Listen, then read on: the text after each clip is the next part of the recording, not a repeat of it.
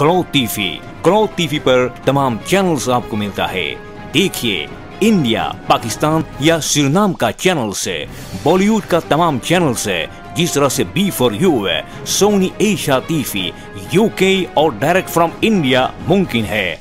पाकिस्तान का बहुत से चैनल्स जिस तरह से हम टीवी एक्सीट्रा और सुरनाम का रेडियो और टेलीविज़न प्रोग्राम्स भी आप देख सकते हैं और सुन सकते हैं। सभी मजहबी और धार्मिक प्रोग्राम आप भी देख सकते हैं क्रो टीवी पर। इंडिया पाकिस्तान या सुरनाम का हो। क्रो टीवी आपके लिए है। तमाम radio station Netherland Suriname UK India और पाकिस्तान का।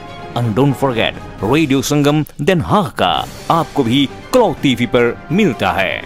कॉन्टेक्ट कीजिए, तारक नंबर है 0031 Janne 685 89 08 19 हम दोहरा रहे हैं 06 85 89 08 19 तार की नंबर है कांटेक्ट करने के लिए क्लॉथ टीवी से आप अपने घर पर मजे उठाइए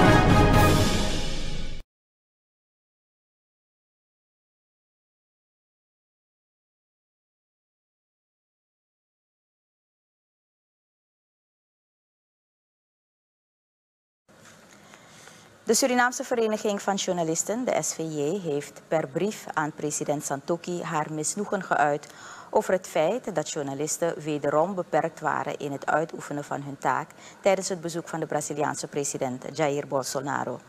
Er is namelijk geen persconferentie gehouden en er was ook geen mogelijkheid om vragen te stellen in het kader van het presidentieel bezoek. De media heeft dit ervaren als een ernstige schending van het recht op persvrijheid en keurt dit met klem af.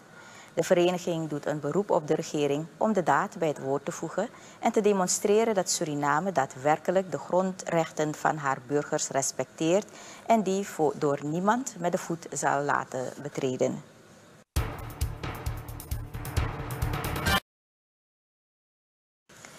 De Rotary Club Paramaribo Central heeft gisteren voor de 35ste keer de Student Excellence Awards uitgereikt. Evenals vorig jaar was het weer een drive-thru event in verband met de COVID-19 situatie.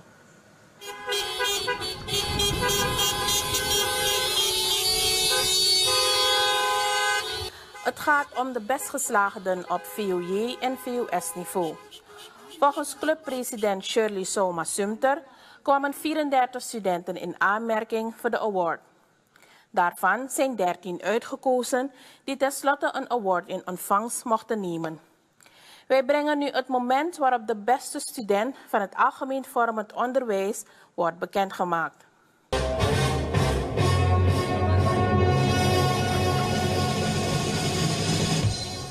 Excellent Student 2021 bekroond vandaag over de periode 2020-2021 uit het algemeen vormend onderwijs Sharoma Raghuveer. Sharoma Raghuveer is gekozen als winnaar van de Student of the beste presentatie Student Excellence Award 2020-2021. Sharoma gaat voorlopig plaatsnemen in de fotobooth. Want zij heeft een collega uit het beroepsvormend onderwijs. En die gaan we nu aan je voorhouden. Dus ik ga Sharoma even de gelegenheid geven om haar fotomoment af, ja, te hebben. Met, uh, kunnen wij even meegenieten. Daarna werd bekendgemaakt wie de winnaar van het beroepsvormend onderwijs is geworden.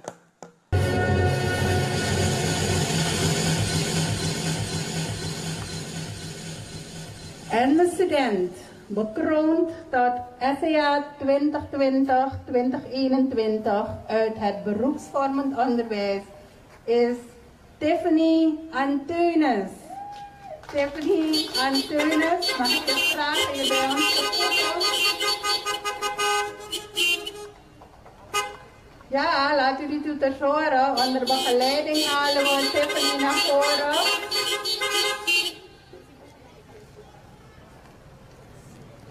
Stephanie, dan mag jij dus uh, Sharona mag je naast Sharona plaatsnemen. Dat zijn dus de winnaars van de Student Excellence Award voor de 35e keer georganiseerd door de Rotary Club Paramaribo Centrum.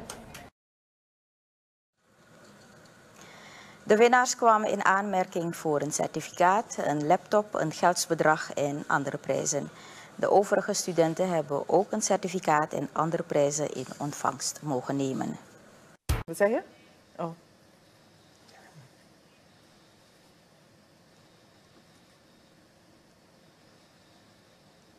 Zoals aangekondigd gaan we in ons jaaroverzicht uh, ook een overzicht houden van het afgelopen jaar op economisch gebied. En we hebben als gast uh, Steven Debi Persat. Hij is de voorzitter van de Vereniging van Economisten in Suriname. Welkom, welkom bij ons jaaroverzicht, meneer Debi Persat. Um, om te beginnen, de minister van um, Financiën die gaf um, aan het begin van het jaar aan, in 2021, dat er veel belangstelling was van investeerders voor Suriname. Hebben we die investeerders gezien in uh, het afgelopen jaar? Nee, voor, voor zover ik heb kunnen natrekken, is uh, nog niets uh, verwezenlijkt. Inder, inderdaad zijn er wel een paar uh, dingen, hebben de media gehaald, waaronder maatschappijen die een belangrijke rol in de toekomst kunnen gaan vervullen. Er is dat verhaal geweest van een HSPG in Kommerwijnen ja. mm. en heel veel vragen die dat heeft opgeroepen. Um, in elk geval, vorig jaar is niets opgezet wat nu al actief is. Oké, okay. in ieder geval hebben we gemerkt dat de deal met uh, HSPG is niet verklaard inmiddels. Hè? Ja, vanaf het begin waren er vraagtekens en ook uh, over het bedrijf zelf, het project. Mm -hmm. Dus um, de vraagtekens hebben uh, zich bewezen, de mensen die vragen hadden. En het is goed dat je dus iets wat, niet, wat vragen oproept, dat je liever snel de stekker eruit trekt. Ja, maar het idee zelf, um, is dat wel, een, want dat vraag ik me dan ook af, is het wel haalbaar voor Suriname? Uh, dat ook. Um, het is het, op het moment dat het gaat over een nieuwe technologie, ik moet zeggen dat uh, bij het aanhoren van dit verhaal mm -hmm. klapperen je oren. Dus nieuwe technologie in een land met um, een bepaalde technologische stand waar je die gap gaat krijgen, een land die andere vraagstukken heeft die mm -hmm. op dit moment aandacht verdienen, vraag je af van is dit goed voor dit moment? Um, en ja, eigenlijk is het antwoord uh, waarschijnlijk nee. Okay. Dus um, uh, we hebben nu dingen nodig die direct banen creëren, die, die direct inspelen op wat de techni technische uh, vaardigheden die Suriname heeft. Ja. Oké, okay, um, heet hangijzer vorig jaar was ook het crisis- en herstelplan. Um, het werd in juni al goedgekeurd en de president heeft dus aangegeven dat het, uh, dit plan Suriname uit de malaise uh, moet uh, kunnen halen. maar welke van de maatregelen, want ik begrijp dat er een aantal maatregelen in staan opgenomen, is er op economisch gebied, zijn er al maatregelen te merken um, uit dit crisis- en herstelplan? Ja, in, inderdaad. Dus dit herstelplan is eigenlijk in 2020 al gestart. Ja. In DNA aangenomen midden vorig jaar. En het zal doorlopen in dit jaar. Uh, het crisis- en herstelplan is, is eigenlijk een saneringsplan. Dus dat betekent dat maatregelen erin zijn opgenomen die, uh, die, die, die, die uh, pijn gaan veroorzaken in de mhm. samenleving, mm -hmm. maar ook bij het bedrijfsleven. We hebben het vorig jaar gevoeld. Een deel daarvan uh, zullen nog dit jaar uh, gebeuren. vorig jaar is een, iets wat waar economen al jaren over praten, namelijk stabilisatie van die wisselkoers. Na vele mislukte pogingen is het vorig jaar, midden vorig jaar, eindelijk gelukt om een vrij stabiele wisselkoers te krijgen. Uh, dat is een van de maatregelen. Uh, vorig jaar januari is ook gestart solidariteitsheffing. Dat was ook opgenomen mm -hmm. in het herstelplan. Gelukkig dat solidariteit dit jaar is, is, is, is uh, gestopt.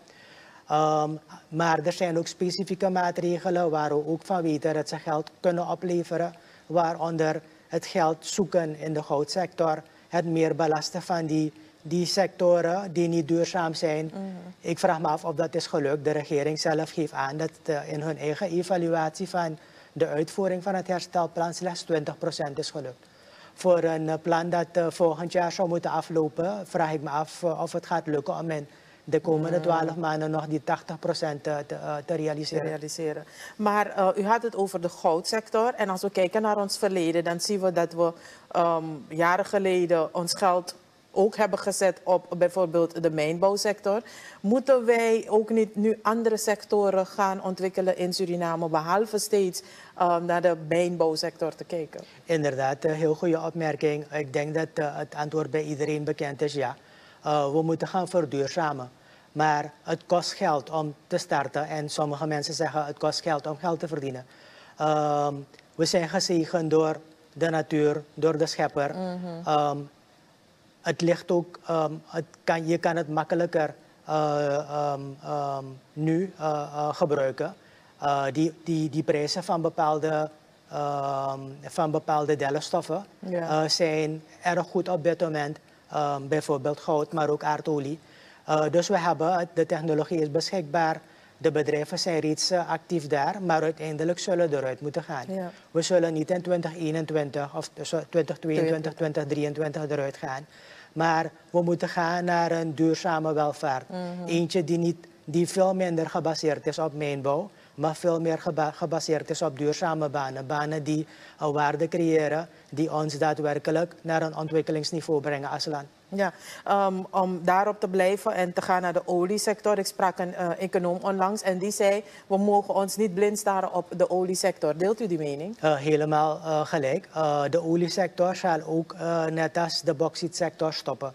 De oliesector is eigenlijk nog niet, eens, nog niet eens echt begonnen in Suriname. Ik heb het dan over olie voor de kust. Ja, ja. Te, zoals in, het, in het buurland Guyana. Mm -hmm. is nog niet eens gestart hier op het moment dat het start zal het wel uh, heel veel uh, positieve dingen met zich meebrengen. Maar ook een heel belangrijk negatief ding, namelijk vervuiling. Ja. Um, die vervuiling ga je niet kunnen compenseren. Um, op het moment dat uh, de condities goed zijn, op het moment dat de bedrijven iets actief zijn, moet je, moet je er voorlopig gebruik van maken.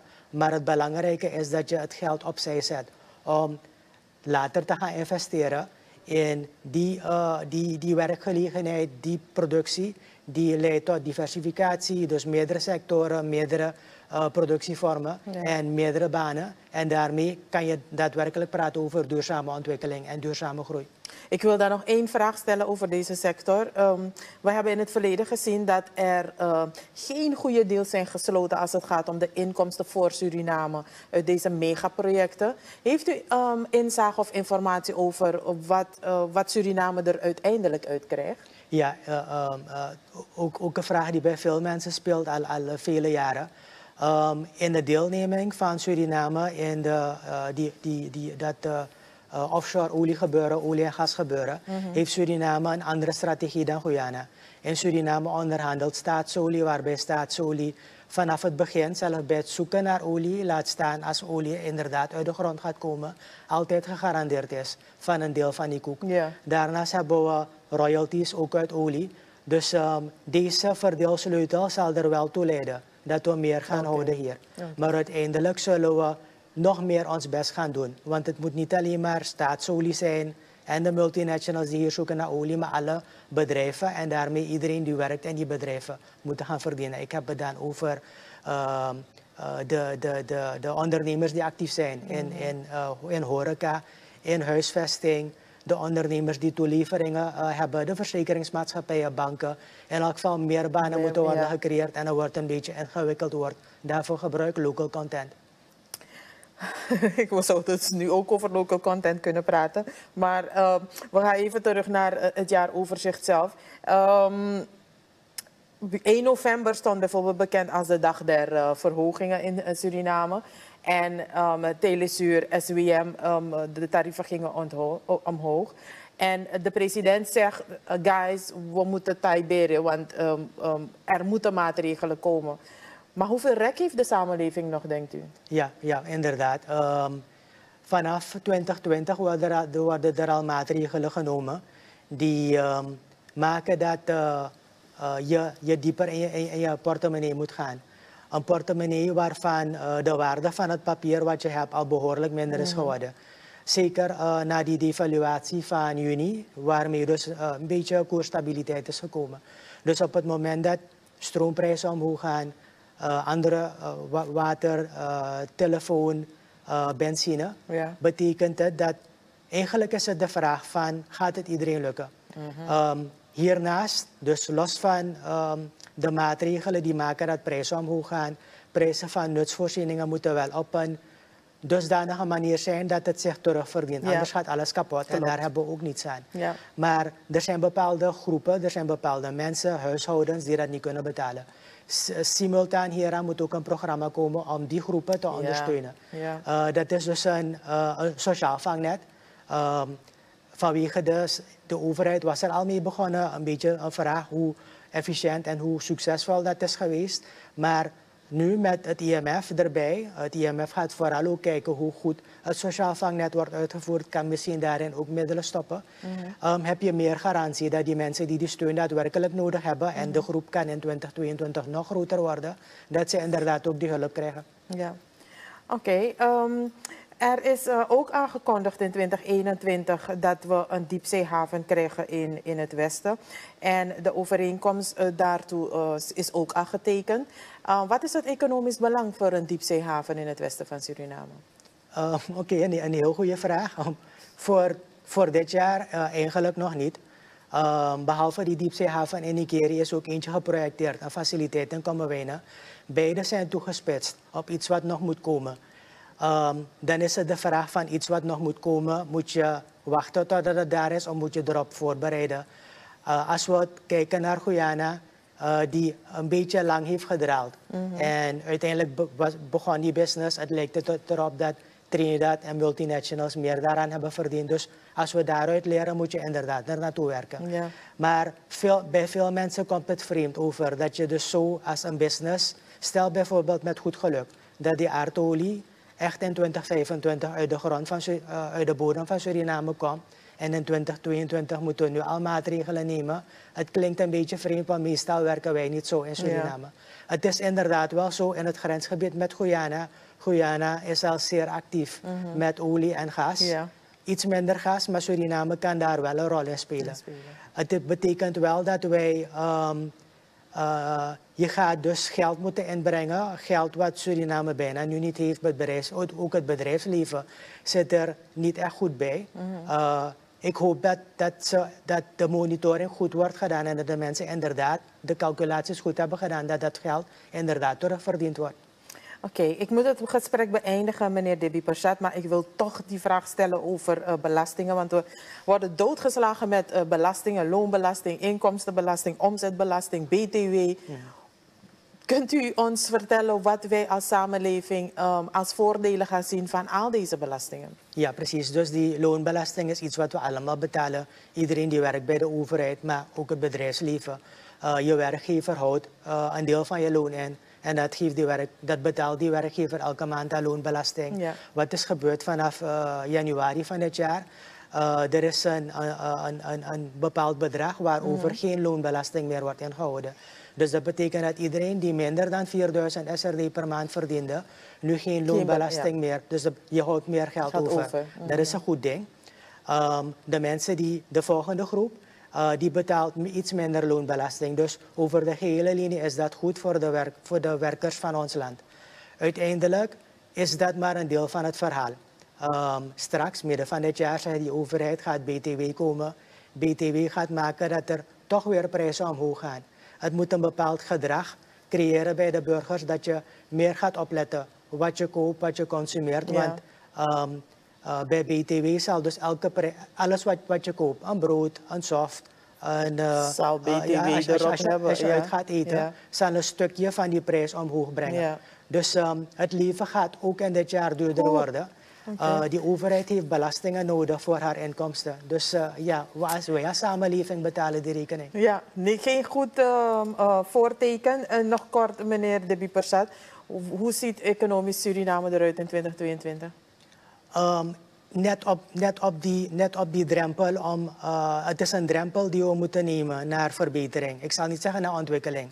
We hebben vorig jaar die eerste stap gezet naar stabilisatie.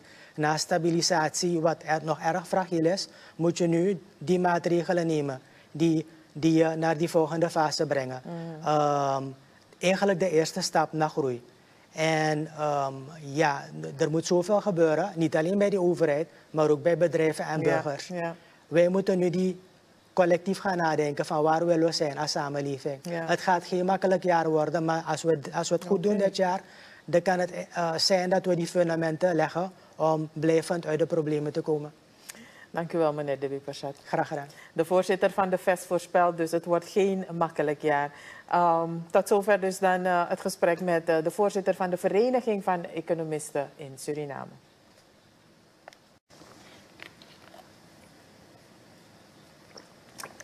In ons jaaroverzicht gaan wij ook politiek Suriname uh, 2021 evalueren. En dat gaan wij doen met politiek analist Jack Menke. Welkom erbij, meneer Menke. Um, om te beginnen, um, politiek en democratie in Suriname 2021. Hoe ging dat? Ja, um, geen makkelijke vraag. Want ja, om te beginnen, politiek heeft te maken met hoe je de belangen van groepen en individuen behartigt. Mm -hmm. en, en dat doen we op een westerse manier ja. via politieke democratie en rechtsstaat.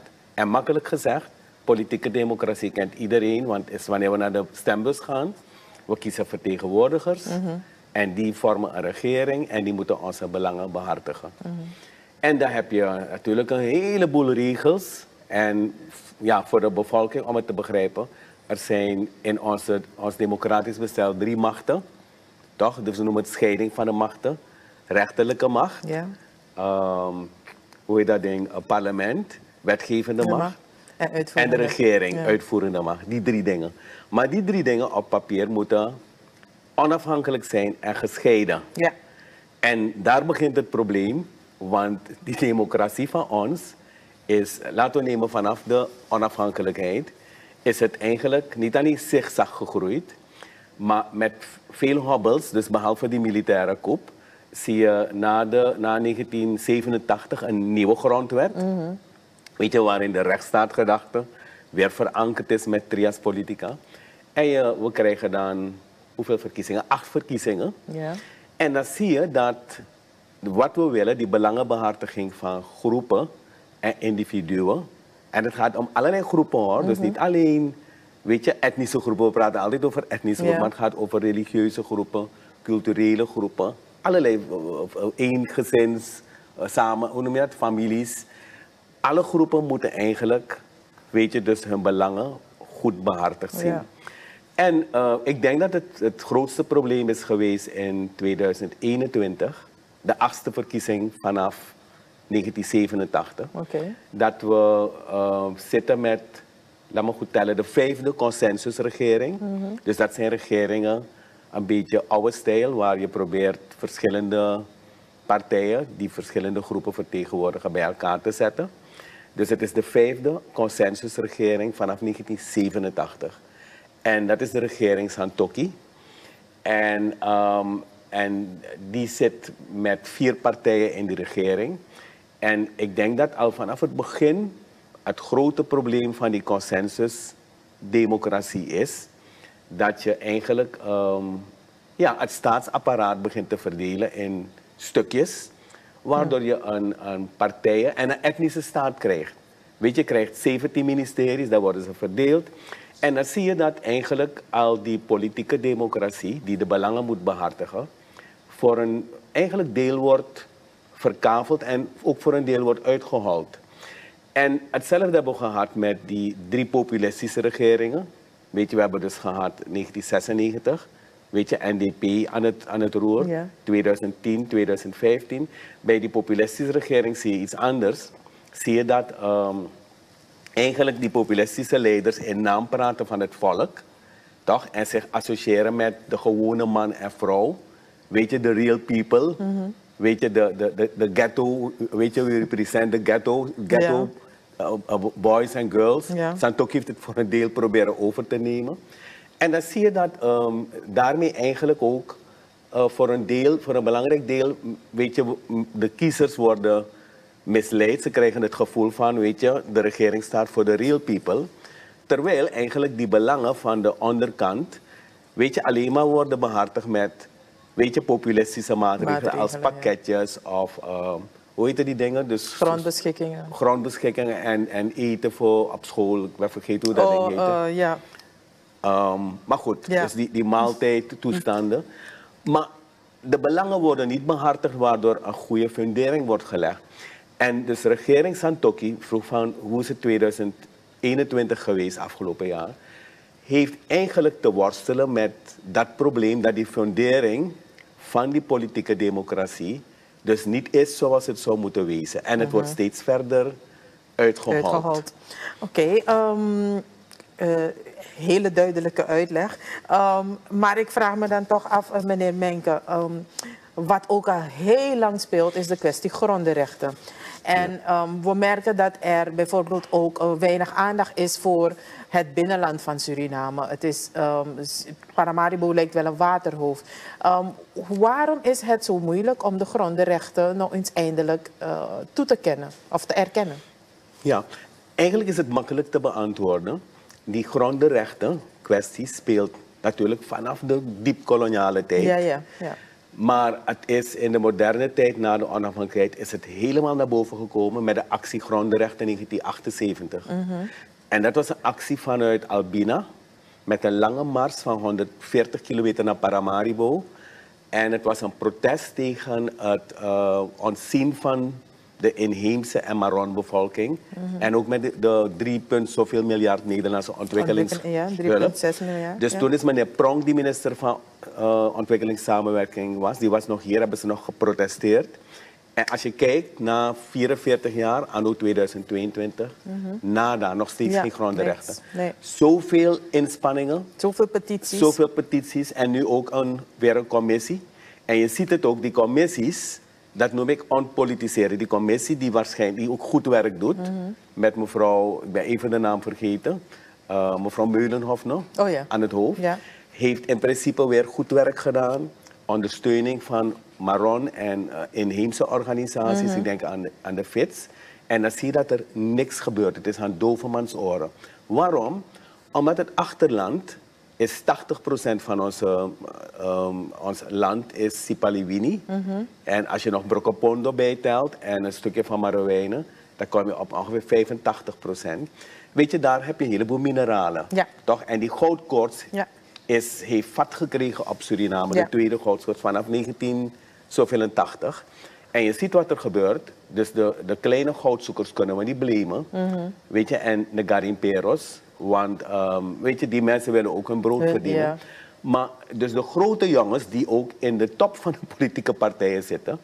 Weet je, dus die gaan hun gang en het milieu wordt verder verontreinigd. En grondenrechten wordt iedere keer wordt het geschoven naar achteren. Ja. En, uh, en ik denk, dit is echt een, als je mij vraagt, politiek een nationale schande.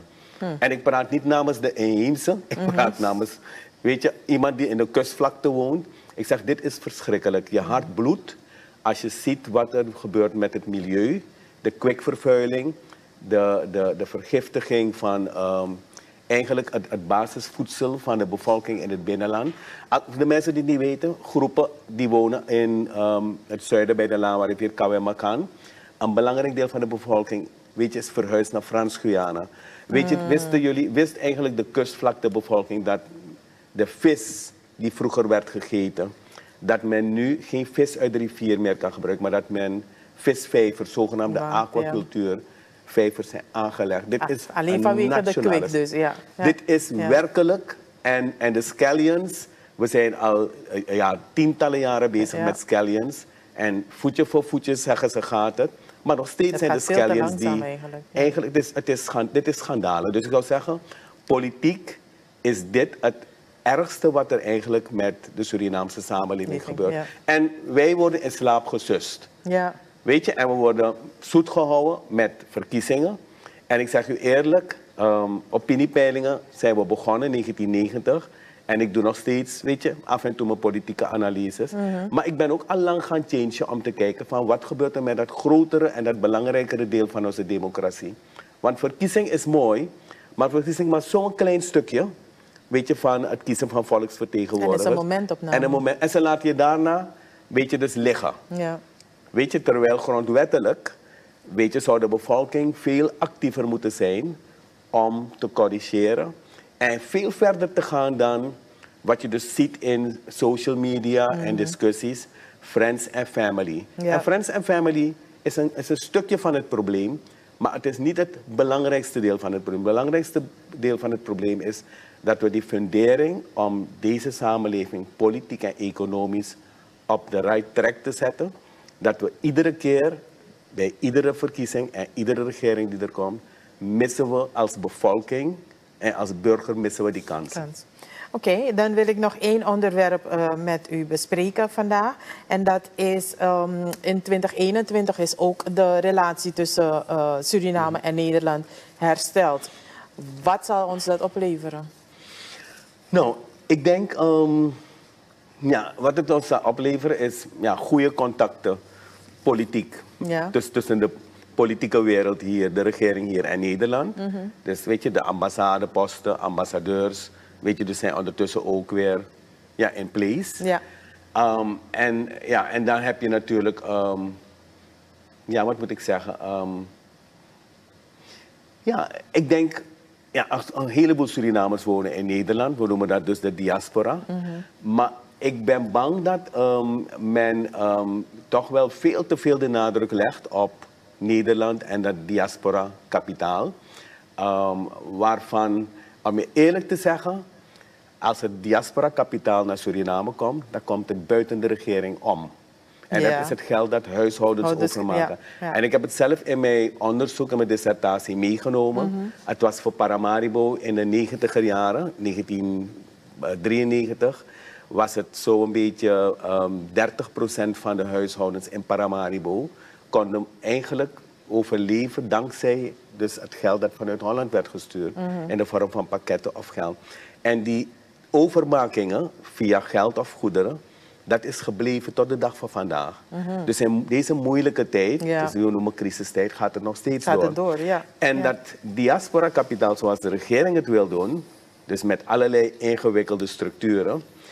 Om je eerlijk te zeggen, ehm, ik zie een heleboel Surinamers en die netwerken echt niet eh, over de brug komen om geld, Geld. eigenlijk, weet je, dus grote sommen geld als ja, fonds ja, te geven. ja. En ik denk dat het gaat blijven bij diaspora-kapitaal dat vanuit de gewone burgers en kleine groepen is opgezet. Opgezet, ik zit er zelf ook in. Ja. Weet je, dus, ehm, en eh, de pakketten die worden verdeeld vanuit de wijk waarin ik zit. Ik ga je eerlijk zeggen, een klein deel komt vanuit Nederland, vanuit gezinshuishoudingen. Mhm. Die hebben absoluut geen vertrouwen in, weet je, dus die bureaucratie Ja. om, weet je, fondsen te stoppen erin. Erin, ja. Dus ik zie dat niet zitten. Ik zou zeggen, als we diaspora willen ontwikkelen, moeten we veel meer gaan, ehm, zeker wat de regering betreft, gaan zetten op, weet je, kennis Ja. vanuit Nederland, maar ook vanuit Brazilië, de Antillen, de Verenigde Staten. En dan ga je eigenlijk een veel betere fundering kunnen leggen voor eh, dat Suriname ook politiek en economisch op een, ja, een duurzame trek komt. Komt. Oké, we moeten het gesprek beëindigen. Meneer Menke, nog even kort. Wat is uw politieke voorspelling voor 2022? Nou, twee- 2022, dus heel concreet, eh, is de, mijn voorspelling dat eh, zeker met, dus technisch met het herstelprogramma, dat is geschreven en dat ja, op de meeste punten kundig is, Ehm, met een zekere ondersteuning weet je, vanuit het planbureau. Ehm, maar je ziet ook van buiten de regering eigenlijk getrokken door weet je, alle lof naar Martin Schalkwijk. Weet je, hij zit niet in de regering, regering, ja. officieel. En ik denk dat daarmee ook de weg is geopend om, weet je, dus die 690 miljoen van de IMF, binnen te ja. krijgen. Maar we moeten voorzichtig zijn, dus en mijn voorspelling is, we moeten letten op IMF, Mhm. die 690 miljoen. Institutioneel zijn we niet echt equipped om straks die maatregelen te nemen. Dus de regering gaat werkelijk ehm, heel hard moeten optreden. Mhm. Intern, dus binnen de regering, binnen dat staatsapparaat. Ja. Dat te veel is gepolitiseerd. Dus institutioneel zijn we heel zwak om een heleboel maatregelen straks eh, eigenlijk door te drukken. Mhm. Ja. En twee is, ehm, mijn voorspellingen, olie. Als er weer een hit komt in het eerste Ja. kwartaal, gaan waarschijnlijk al, ik denk in het eerste half jaar, gaan dus die, die, die grote oliemaatschappijen zeggen go or no go. En als ze zeggen go, zitten we in hetzelfde stramien als Guyana. Guyana, En dan moeten we oppassen dat we ook niet ehm, in 2022 weet je, te snel gaan, ehm, hoe zeg je het, juichen. Okay. over goedkope overwinning. Want we hebben IMF binnengehaald, 690 miljoen. En nu gaan we dus banen in olie. En ik denk dat dat, weet je, de fundering op zich niet gaat leggen. De belang, het belangrijkste voor 2022, mijn voorspelling is, als we eruit willen komen, die cirkel van 45 jaar, weet je, consensusregering, dan populisme. Mhm. En dan iedere keer zie je dat we terugvallen. Als we eruit willen komen, dan denk ik dat de regering Santoki serieus de instituten en de mensen moet betrekken die het uithollen van politiek in Suriname en het uithollen van de democratie, dat we daaraan een einde brengen. De democratie is te veel uitgehold mm. met allerlei instituten. Ik noemde ze net uh, ordening goudsector, heeft niks geholpen. Uh, allerlei uh, andere instituten die in het leven zijn geroepen de afgelopen 45 jaar. Maar als je ziet dat er deskundigheid is binnen en buiten Suriname, dat je die kennis gaat inzetten en ontpolitiseert. Ja. Dus mijn voorspelling voor 2022, we gaan Suriname alleen maar duurzaam op een ontwikkelingstrek kunnen brengen. En ook duurzaam politiek stabiel kunnen maken. Wanneer we werkelijk het mes gaan zetten hm. in de Daar dingen waar het gezet moet worden. Waar het gezet moet en wat scheef gegroeid is. En dan niet te vergeten ook de sferen die verwaarloosd zijn. Het achterland, ecologie, milieu. Weet je, niet stiefmoederlijk wordt het milieu wordt geruineerd. Cultuur, Cultuur. Absoluut geen cultuurbeleid. Weet je, regering op regering. Dus ik denk dat door de verwaarloosde gebieden in 2022 dus werkelijk een plek zouden moeten geven. Dus dat betekent regering Santoki, Brunswijk, het roer drastisch omgooien. En dan denk ik dat we in 2022, weet je, dus de eerste stappen kunnen leggen voor een politiek, maar ook economisch, sociaal en cultureel prachtige Surinaamse samenleving. We zouden nog uh, heel lang door kunnen gaan, meneer Menke. Maar uh, dank u wel voor uw komst vandaag en uh, om het jaar 2021 met ons te evalueren. Tot zover het gesprek met de politiek analist Jack Menke. Ja, graag gedaan.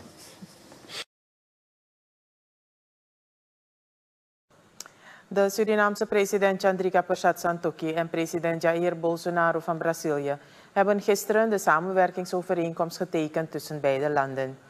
Na de ondertekening hebben de staatshoofden elk een verklaring afgelegd over wat kan worden verwacht vanuit beide partijen. Bolsonaro gaf aan dat Brazilië zeer uitgebreide ervaring heeft in de olieindustrie die zij Suriname kunnen aanbieden bij de exploratie van de olie- en gassector. Daarom heb ik mijn minister van Mijnbouw en Energie meegenomen tijdens dit werkbezoek, zei Bolsonaro. Eu cumprimento e agradeço.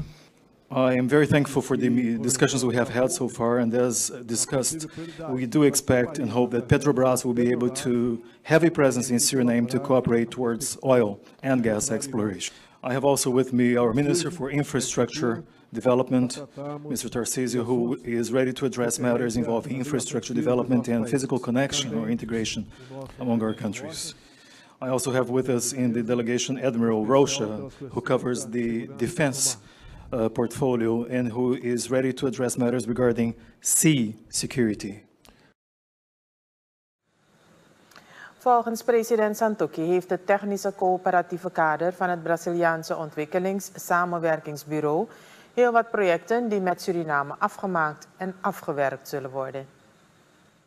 In total 25 projects Some are being impl implemented, some have been signed and ready to be implemented, others on the negotiation, while we also have new initiatives to be explored. Concrete, these are capacity building and other cooperation projects in areas such as agriculture, education, natural resources, public administration, health, cybersecurity, ICT, central bank cooperation, and cooperation in the area of justice and police. President Jair Bolsonaro moest eerder vertrekken uit Suriname. Hij kreeg gisteren het nieuws over het overlijden van zijn moeder. De Braziliaanse president is vanmorgen richting Sao Paulo vertrokken en zijn bezoek aan Guyana werd afgelast. De ondervoorzitter van de organisatie van bus- en boothouders in Suriname OBS, Ivan Woon, zegt dat de organisatie niet in staking is. De redactie verneemt dat enkele chauffeurs die de lijndiensten voor het Nationaal Vervoersbedrijf NVB onderhouden, op sommige dagen het werk neerleggen. Volgens Woon is een kleine groep van bushouders die zich voordoet als actiegroep de vorige maand begonnen met acties. Woon zegt dat alle werkzaamheden normaal moeten plaatsvinden. Een, groep werpt zich op als dat zijn een actiegroep. En, en, en ja, ik weet niet. Ik, ik kan niet voor ze praten. Ik weet niet. Ik, ik, ik, wij, wij, wij staan niet achter zaken die ze doen.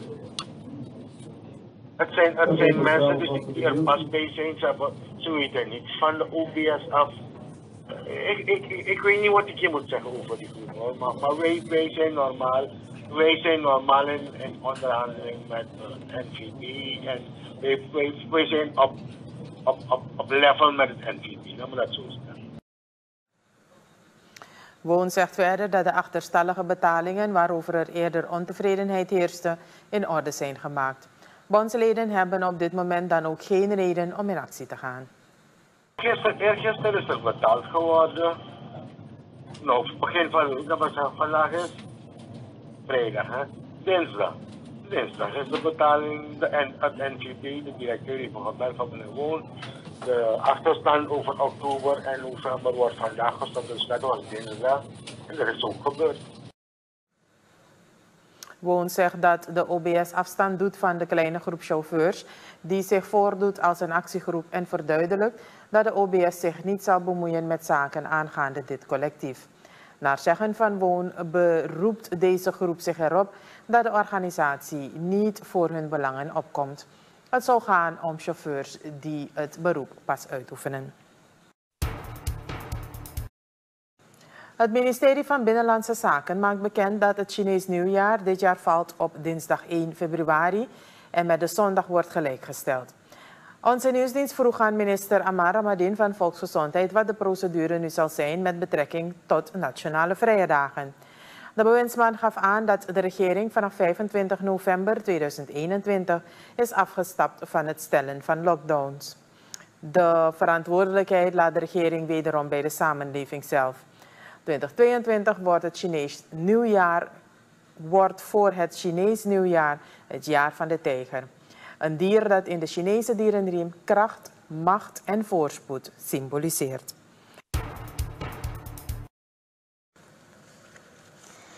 De Braziliaanse ambassadeur José Rafael Lopes Mendes de Azeredo is de regering en het Surinaamse volk zeer erkentelijk voor het warme onthaal van de Braziliaanse president Jair Bolsonaro en zijn delegatie. De diplomaat blikt terug op een historisch bezoek. Niet alleen omdat dit het eerste bezoek na jaren was, maar het was tevens het eerste bilaterale bezoek, zegt Azarero. Tijdens de gesprekken hebben president Santoki en zijn Braziliaanse ambtgenoot zich gebogen over de goede vooruitzichten van de olie- en gasindustrie in Suriname.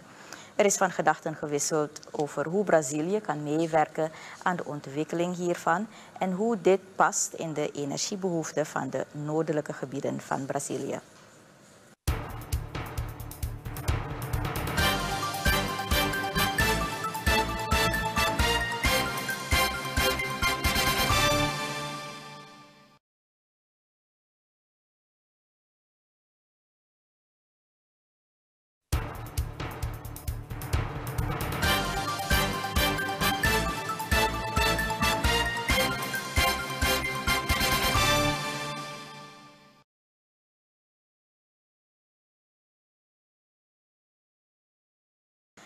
De communicatiedienst Suriname heeft bekendgemaakt dat de COVID-19-maatregelen per vandaag, zaterdag 22 januari, zijn aangepast.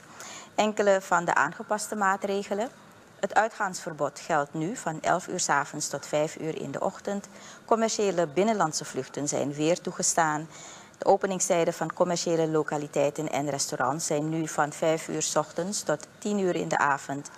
En de grenzen zijn tot nader order geopend voor personenverkeer, mits voldaan is aan de protocollen van het land van afkomst en de Surinaamse autoriteiten hun goedkeuring hebben verleend. Er is een samenscholingsverbod voor groepen van meer dan 10 personen. Bijeenkomsten voor rouwzittingen en uitvaarten zijn toegestaan, mits er niet meer dan 25 personen tegelijkertijd aanwezig zijn. Alles een greep uit de aangepaste COVID-maatregelen, zoals bekendgemaakt door het CDS.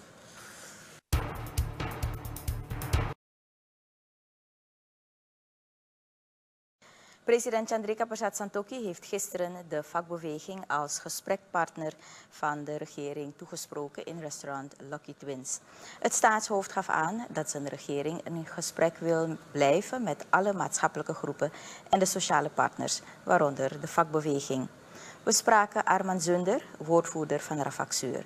Hij zegt dat het afgelopen jaar een moeilijk jaar was voor de werkende klasse bereikt was in 2021. Dat was een sociaal akkoord dat nu eigenlijk uitgevoerd moest worden uh, of gaat worden. En daarbij speelt voor alle sociale partners integriteit. En dat uh, betekent wat we hebben afgesproken, dat het gedaan moet worden. En wat er gedaan wordt, dat dat uh, binnen het kader van wat we afgesproken hebben, gaat gebeuren. En uh, van de kant van de vakbeweging hebben wij gezegd dus dat uh, de inflatie, die we verwachten dat die omlaag gaat.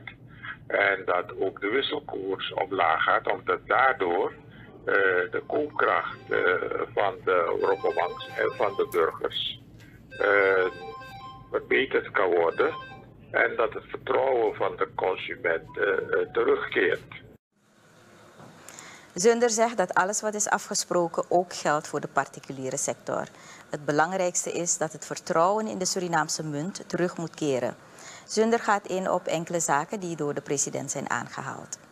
Bij mij is bijgebleven dat uh, er een nieuwe structuur gaat komen voor het uitvoeren van uh, één uh, herstelplan voor het programma van IMF en ook het programma dat te maken heeft met, uh, ik ben de naam van meteen vergeten hoor, wat is de commissie die mevrouw Van Dijk Silos toen had uh, uh, voorgezeten.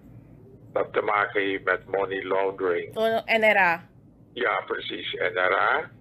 En dus dat er, laten we zeggen, clusters van ministers gaan komen die aangestuurd gaan worden door de president, uh, die uh, deze programma's gaan doorvoeren. Waarbij uh, de president het ook onder meer had. Dus dat het capaciteitsvraagstuk dan waarschijnlijk gaat spelen. De Rafaxuur-woordvoerder gaf nog aan dat het staatshoofd de vakbeweging heeft gevraagd om expertise beschikbaar te stellen voor uitvoering van de gemaakte afspraken.